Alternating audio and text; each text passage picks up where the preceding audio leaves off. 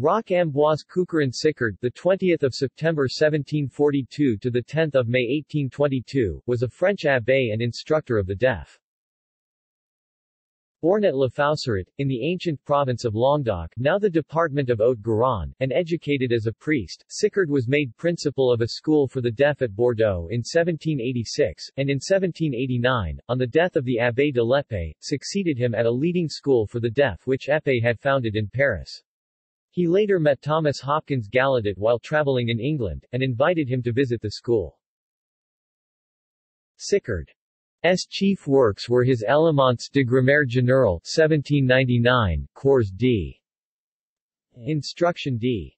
Unsoured Muet de Naissance 1800, and Traité des signes pour l. Instruction des Sourds Muets 1808. The Abbé Sicard managed to escape any serious harm in the political troubles of 1792, and became a member of the Institute in 1795, but the value of his educational work was hardly recognized till shortly before his death at Paris. In 1803 Sicard became a member of the Académie Française, occupying seat 3 as the successor to the François Joachim de Pierre de Bernis, who was a diplomat. See also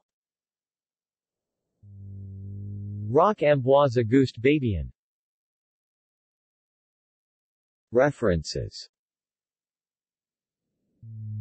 This article incorporates text from a publication now in the public domain, Chisholm, Hugh, ed. 1911. Sicard, Roch Ambroise Cucurron. Encyclopædia Britannica. 25 11th ed. Cambridge University Press. p. 20.